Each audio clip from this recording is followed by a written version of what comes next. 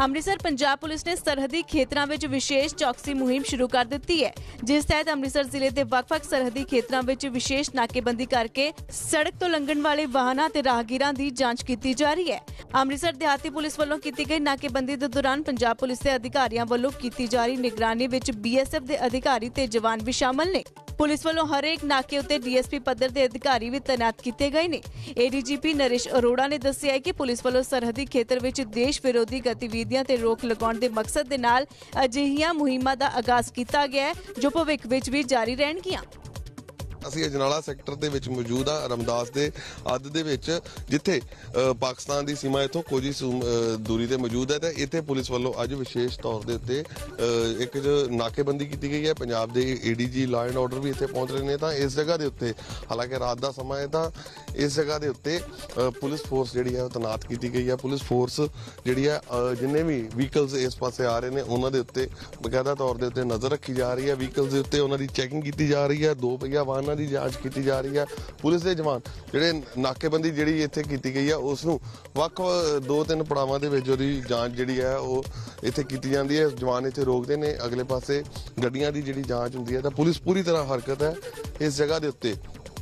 ਇਹ ਤਸਵੀਰਾਂ ਜਗਦੇਵ ਖੁਰਦ ਦੀਆਂ ਨੇ ਅੰਮ੍ਰਿ- ਅੰਮ੍ਰਿਤਸਰ ਜ਼ਿਲ੍ਹੇ ਦੇ ਅਜਨਾਲਾ ਖੇਤਰ ਦਾ ਇਹ ਪਿੰਡ, ਜਿੱਥੇ ਵੱਖ-ਵੱਖ ਥਾਵਾਂ ਦੇ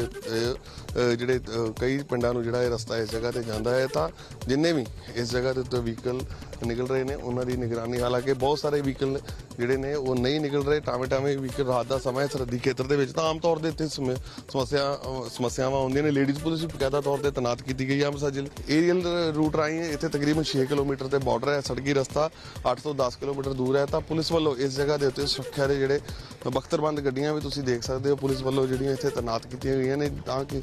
ਤਾਂ ਇਹ ਜਿਹੜੀ ਵਿਸ਼ੇਸ਼ ਚੌਕਸੀ ਮੈਂ ਕਿਉਂਕਿ ਪਿਛਲੇ ਸਮੇਂ ਦੇ ਵਿੱਚ ਪੰਜਾਬ ਦੇ ਵਿੱਚ ਜਿਹੜੀ ਇਹ ਬਾਰਡਰ ਦੇ ਖੇਤਰ ਦੀ ਗੱਲ ਕੀਤੀ ਜਾਵੇ ਤਾਂ ਡਰੋਨ ਐਕਟੀਵਿਟੀ ਜਿਹੜੀ ਸੀ ਉਹ ਕਾਫੀ ਸਾਹਮਣੇ ਆਈਆਂ ਸੀ ਨਸ਼ੇ ਦੇ ਮਾਮਲੇ ਦੇ ਵਿੱਚ। ਜਿਹੜੀ ਅਸੀਂ ਉਸ ਦੇ ਉਹ ਵੀ ਸਰਹੱਦੀ ਖੇਤਰਾਂ ਦੇ ਵਿੱਚ ਡਰੋਨ ਰਾਹੀਂ ਸਪਲਾਈ ਕੀਤੀ ਗਈ ਸੀ ਸਪਲਾਈ ਕੀਤੇ ਜਾਣ ਦੀਆਂ ਖਬਰਾਂ ਆਈਆਂ ਸਨ। ਤਾਂ ਇਸ ਤੋਂ ਇਲਾਵਾ ਇਸ ਏਰੀਆ ਦੇ ਵਿੱਚ ਜਿਹੜੀ ਸਰਹੱਦੀ ਖੇਤਰ ਜਿਹੜਾ ਹੈ ਸਮਗਲਿੰਗ ਦੇ ਲਈ ਜਿਹੜੇ ਸਮਗਲਿੰਗ ਹੁੰਦੀ ਹੈ ਹੈਰੋਇਨ ਦੀ ਤਸਕਰੀ ਹੁੰਦੀ ਹੈ ਤਾਂ ਇਸ ਨੂੰ ਰੋਕਣ ਦੇ ਲਈ ਵਿਸ਼ੇਸ਼ ਤੌਰ ਦੇ ਉੱਤੇ ਚੌਕਸੀ ਮੁਹਿੰਮ ਦੀ ਅ, ਜਿਵੇਂ ਡੀਜੀਪੀ ਗੌਰਵ ਯਾਦਵ ਨੇ ਕਿਹਾ ਸੀ ਕਿ ਨਸ਼ਿਆਂ ਦੇ ਖਿਲਾਫ ਤੇ ਡਰੱਗ ਦੇ ਖਿਲਾਫ ਜਿਹੜੀ ਇੱਕ ਫੈਸਲਾ ਕੁਨ ਜਿਹੜੀ ਹੁਣ ਲੜਾਈ ਲੜੀ ਜਾਏਗੀ ਤੇ ਇਸੇ ਤਹਿਤ ਹੀ ਹੁਣ ਪੁਲਿਸ ਜਿਹੜੀ ਆ साहब सड़कों के उपर जी उतरती दिखाई देती है। ये आपने देखा है, हमारे डी जी साहब के निर्देशन के अनुसार। ये हम अलग अलग ऑपरेशन डेली बेसिस पे और वीकली बेसिस पे और इमरजेंसी ऑपरेशन ये करते रहते हैं। आज बॉर्डर एरिया में, जो हमारे पाँच, साढ़े पाँच सौ किलोमीटर का जो बॉर्डर है, इसमें हमारे सात डिस्ट्रिक्ट हैं। तो ये स्पेशल नाइट डोमिनेशन ऑपरेशन जो है, ये बॉर्डर एरिया के पास किया गया है, जिसमें हमने बीएसएफ के साथ कोऑर्डिनेट करके हमने ज्वाइंट नाकाबंदी की है। तो लगभग इन सात जिलों में सौ के करीब नाका लगाए गए हैं और इनमें तकरीबन पच्चीस सौ के करीब जो जवान हैं, हमारी फोर्स है,